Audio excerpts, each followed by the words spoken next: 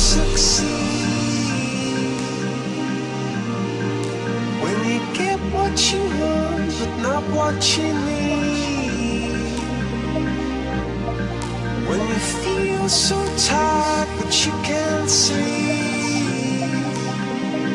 Stuck in real